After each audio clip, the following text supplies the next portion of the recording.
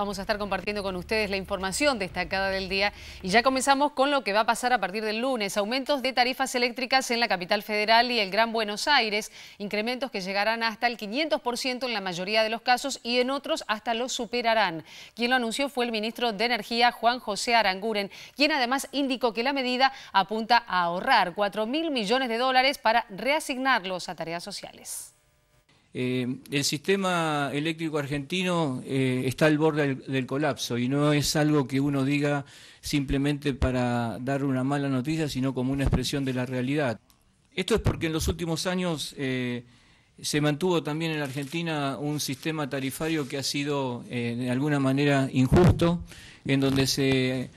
castigó a los que menos tienen y también se castigó eh, en forma importante y se discriminó a muchas provincias este, del interior del país. Los ciudadanos y los usuarios de Capital y Gran Buenos Aires hemos pagado una energía que en este momento es cinco veces más baja que en el resto del país. Cualquiera puede hacer la, cuenta y el cálculo eh, de qué es lo que está pagando hoy y hacerlo en valor absoluto o en valor relativo. Y uno puede hablar en porcentaje o en términos absolutos. Hoy, y esto obviamente también quiero este, decirlo porque es una manera también de, educarnos mutuamente, hoy está pagando alguien 25 pesos, o sea, el 80% de los usuarios residenciales en Edesur está pagando por mes 25 pesos por el servicio eléctrico.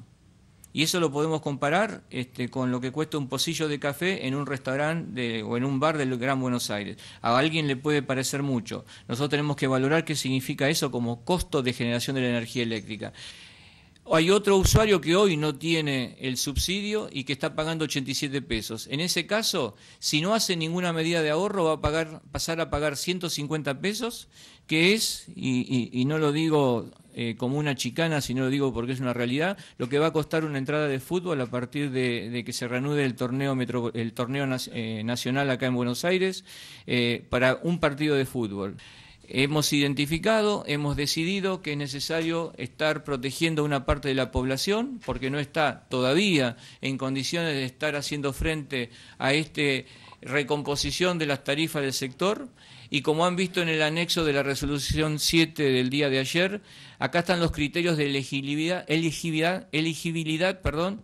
eh, para aquellos que tienen que estar incluidos dentro de eh, la tarifa social y también los criterios de exclusión del beneficio. Ser jubilado o pensionado por un monte equivalente a dos haberes eh, nacional mínimo, personas con empleo en relación de dependencia que cobren una remuneración bruta menor o igual de dos salarios mínimos vital y móvil, titular de programas sociales, estar inscrito en el régimen monotributista, estar inscrito e incorporado al régimen especial de la seguridad social para empleados del servicio doméstico, percibiendo el seguro de desempleo o contar con un certificado de discapacidad. Y excluidos, obviamente, tenemos que decirlo, se hace un cruce con el padrón de fallecidos, registro de la propiedad inmueble, quien tiene más de, de dos o más de un este inmueble, el padrón de automotores, y también embarcaciones de lujo. No voy a, decir algo que no sea la verdad, no van a ver inmediatamente una mejora en la calidad del servicio. Lo que tenemos que sí asegurarnos es de que aquellas empresas que están todavía en una situación de inversión que no les permite mejorar esa calidad del servicio, le presenten la LENRE, y esta es nuestra obligación, planes de inversión y a cumplir en forma trimestral para ir mejorando en la calidad del servicio.